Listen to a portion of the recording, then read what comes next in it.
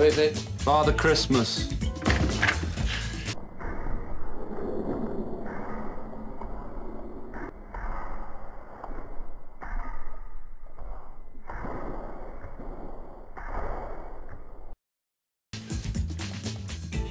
Oh, it's you. Who do you think it was?